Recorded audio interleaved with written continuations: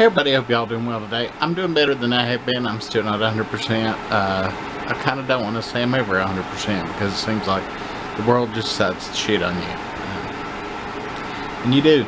Anyways, this is my June uh, 2019 DVD and Blu-ray pickups. Um, I apologize for the fan, but if I cut it off, I would probably black out in the middle of this video. So I'm not going to do that. Um, I do want to preface one other thing. I went to my local, well, not local, local, but a flea market within an hour's drive. Had to take my mother and my aunt uh, because they were getting uh, silk flowers for uh, decoration at a at a graveyard. And I hadn't been there in a long time, and I said, but well, good chance to maybe find some out of print movies or this, that, the other.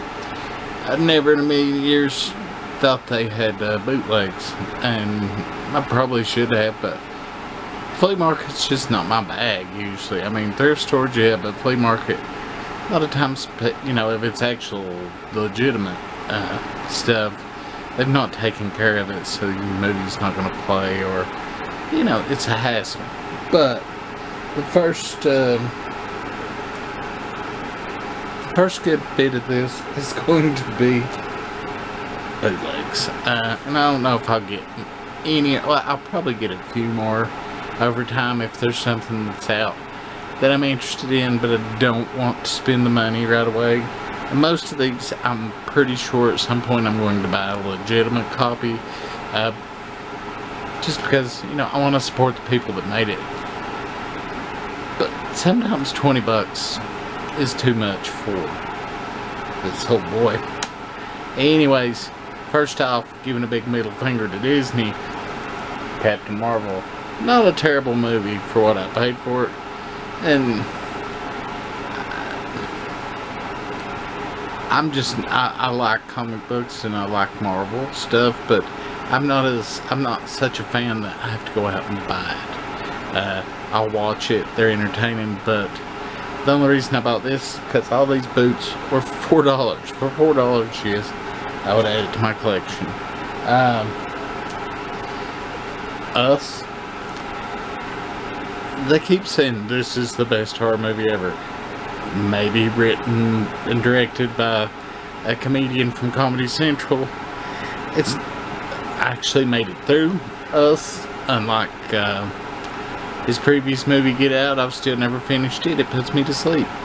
Maybe they're good. I just don't it feels like to me if you say they're not good, some people will come out and say, well, you're racist. No, I just, I have my taste in movies. The characters could be switched around, in at least to us, and I still wouldn't care for them.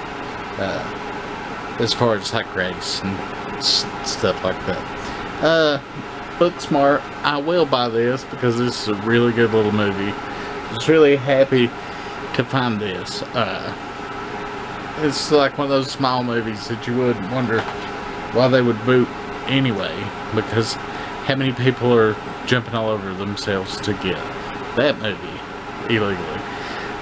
I got this because there's no way I was going to pay a lot of money for it, but for what I paid for it, uh, Happy Time Murders was actually okay. If you like crunchy, silly stuff, it's okay. Melissa McCarthy is okay. And I got, uh, Captive State. Uh, not a bad little movie about aliens that take over. Sort of like, uh, it's in, in ways it's like that USA show Colony. You really don't see a lot of the aliens, but it's better than Colony because you actually do see a little bit of them and you do actually see their impact much more. Um, I know you're saying, God damn, how many of these to get? I think I got seven altogether, or no, I got uh, six six, nine altogether. Uh, Greta, I've not watched this yet, but uh, I'll probably end up buying that if I like it because, you know, I was interested in it when it came out in the movies, but I wasn't going to pay 20 bucks. Uh, I'll probably buy this, uh, House that Jack built. I just wanted to give it a look-see before I spend a lot of money on the Blu-ray, which I think the only unrated is from the UK and you know if I'm going to import something I want it to be good I'm glad that I bought this, the Beach Bum, for cheap.